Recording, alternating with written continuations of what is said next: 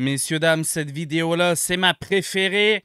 C'est mon top 10 des jeux indépendants qui ont été présentés durant les conférences dernièrement. Messieurs, dames, il y en a une tonne qui ont été présentés. Malheureusement, j'ai dû raccourcir le tout avec 10 seulement, mais écoutez. Vous voulez que je vous dise quoi? Il y a eu plus d'une centaine de jeux indés qui ont été présentés. Je dois faire un top 10. J'ai pas le choix de raccourcir le tout, là. OK? Mais dans tous les cas, ceux que je vais vous présenter, messieurs, dames, sont pour moi les plus créatifs, originaux et que vous devez absolument mettre dans votre liste des jeux les plus souhaités sur Steam ou n'importe où parce que pour de vrai, il y a des jeux incroyables et on commence maintenant avec mon top 10 des jeux indépendants que tu dois absolument acheter dès qu'ils sortent. T'as pas le choix, là. Encourage les développeurs indépendants tabarnak.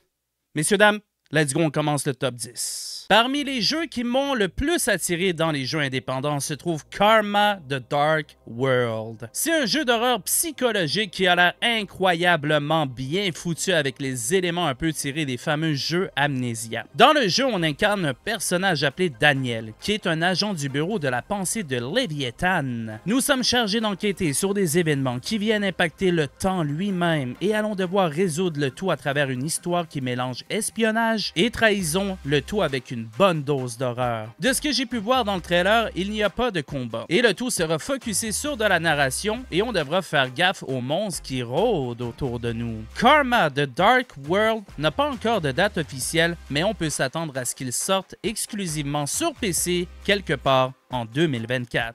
Screenbound est le jeu le plus innovant que j'ai vu dans ma vie, voire depuis extrêmement longtemps, et c'est ce qui m'attire chez les jeux indés. La liberté totale d'innover et d'essayer de nouvelles choses dans un jeu. Bien ici, Screenbound se démarque de tous les autres jeux qui ont été présentés avec un monde en constant changement. Vous contrôlerez un Q-Boy de son vrai nom, le Quantum Boy, avec qui vous pourrez contrôler jusqu'à 5 dimensions. Oui, oui, 5 dimensions. Vous devrez diriger votre personnage à travers la Q-Boy, soit comme les bons vieux Game Boy de l'époque, pour passer à travers votre chemin, mais vous devrez aussi contrôler votre personnage en 3D en permanence. C'est tout simplement incroyable et unique d'avoir pensé à ce genre de système pour un jeu de plateforme et j'ai très hâte de l'essayer. Screen Bond n'a pas encore de date de sortie, mais il est sur ma liste de souhaits sur Steam, donc allez le mettre vous aussi et encouragez cette très belle créativité. Vous aimez les animaux? Bien, on verra si vous les aimez une fois qu'ils se transforment en super mutants durant votre travail au zoo le plus proche dans Zoocosis. Vous aurez la charge de vous occuper de tous les animaux du zoo, mais étrangement, certains d'entre eux pourront se transformer en gros monstres affreux et ce sera à vous de décider de les sauver ou non. Et chaque choix que vous prendrez aura bien sûr une grosse répercussion sur la fin du jeu. Durant votre aventure, vous aurez pour mission de trouver un vaccin afin de sauver tous les animaux ou si vous voulez,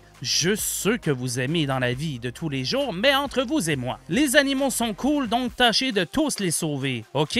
Zoocosis n'a pas encore de date officielle, mais devrait sortir quelque part en 2024 sur Steam uniquement. Tom délivre du courrier. Tom est une femme, mais avec un prénom de monsieur. Déjà, c'est bizarre tout ça, mais attendez d'en apprendre plus sur Tom the Post Girl. Tom the Post Girl est un jeu étrange où notre but sera de délivrer du courrier. Oui, ça a l'air simple tout ça. Par contre, Tom a un petit secret et elle aime bien regarder ce que les gens font chez eux et n'hésite pas à les observer. Mais est-ce toujours une bonne idée de regarder la vie privée des gens? Qui sait, elle pourrait voir des secrets comme des enfants manger dans des gamelles ou des parents faire des rituels sataniques. Pour être honnête avec vous, je ne sais pas c'est quoi le but du jeu, mais j'aime bien l'idée avec le genre de graphisme dessiné à la main et les animations déjantées. C'est mon style de jeu, un jeu bizarre et incompris qui a l'air drôle à jouer. Tom de Pose Girl devrait sortir d'ici 2025, mais ça ne vous empêche pas, si vous aimez ce style de jeu, d'aller le mettre comme moi dans votre liste de jeux souhaités sur Steam. Avez-vous déjà été tellement énervé dans certaines situations que vous auriez aimé foutre des uppercuts avec vos pieds? Bien maintenant, c'est possible avec le jeu Hanger Foot. Les créateurs du célèbre Bro Force nous reviennent avec ce superbe jeu original où vous devrez avancer avec vos pieds et découvrir la ville appelée Shit City. Non, je ne rigole pas, c'est vraiment le nom de la ville.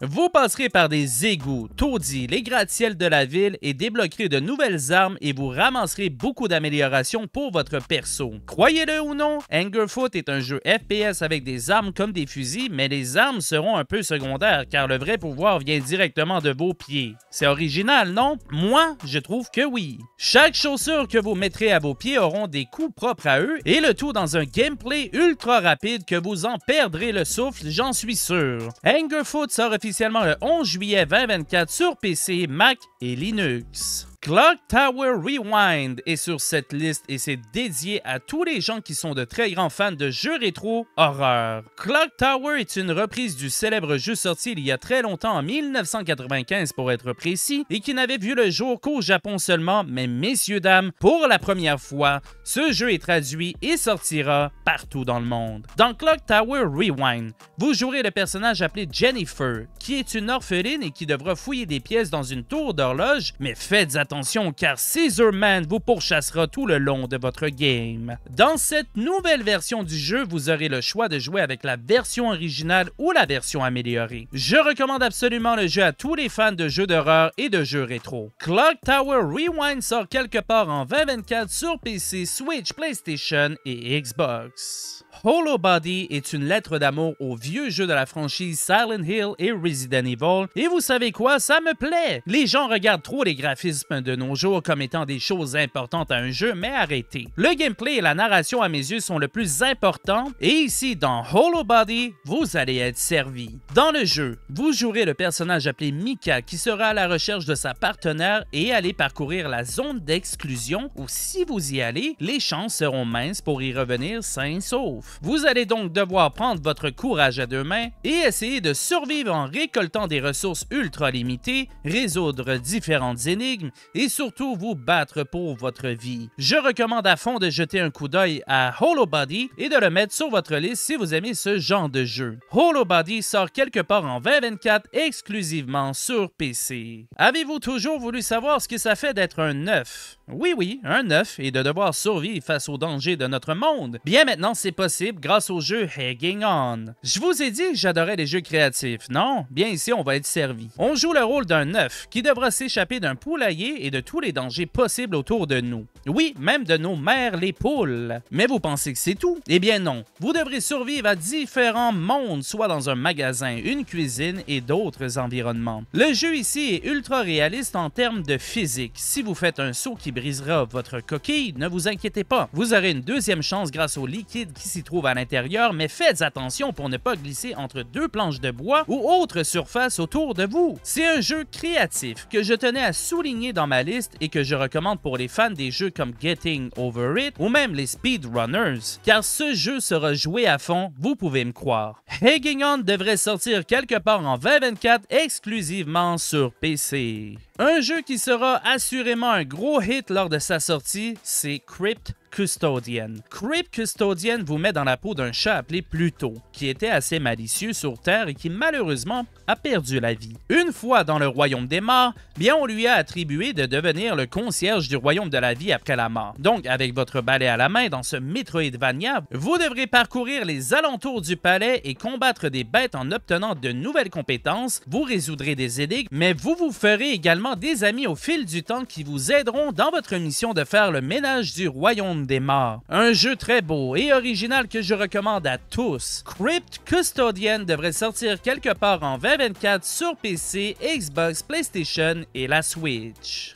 Je devais mettre ce jeu sur ma liste pour la simple et bonne raison que c'est un Punch-Out 2.0. Si vous ne savez pas ce qu'est Punch-Out, le célèbre jeu de boxe est le meilleur de tous les temps sorti sur la NES dans les années 90, eh bien, honte à vous! Sauf si bien sûr vous avez genre 25 ans et moins. Bien, Big Boy Boxing reprend un peu le même principe mais avec un autre style de gameplay et des personnages uniques. Donc non, ce n'est pas le successeur de Punch-Out, mais il sera très fun à jouer et ça j'en suis persuadé. Avec des graphismes que même les ont dit qu'il s'était inspiré de l'excellent jeu Cuphead, donc le jeu va être cool à jouer. Vous aurez plus de 15 boss fights, des habilités complètement uniques et une très grande rejouabilité. Big Boy Boxing devrait sortir quelque part en 2024 exclusivement sur PC. Donc voilà, messieurs, dames, c'était ma liste des jeux indépendants que je recommande à tous, qui ont retenu mon attention, ok? C'est des bons jeux, ils sont créatifs. Allez les mettre dans votre liste de souhaits, s'il vous plaît, et allez encourager les développeurs indépendants. Arrêtez de toujours vouloir acheter que des grosses compagnies. Il y a des développeurs indépendants qui travaillent très fort à trouver des trucs originaux, créatifs, toutes ces choses-là. Et c'est ce que je vous ai présenté sur ma liste. Donc, s'il vous plaît,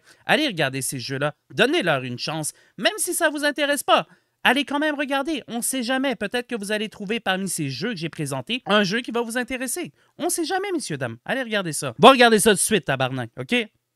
Go! Maintenant. Bref, messieurs, dames, j'espère que vous avez apprécié cette vidéo. Si oui, abonnez-vous, man, ça donne beaucoup de force. Likez la vidéo, partagez avec toute votre famille. Je mets beaucoup d'efforts. OK? Encouragez-moi, s'il vous plaît. Bref, messieurs, dames, on se revoit dans une prochaine vidéo. Prenez soin de vous, passez une excellente semaine et... Peace!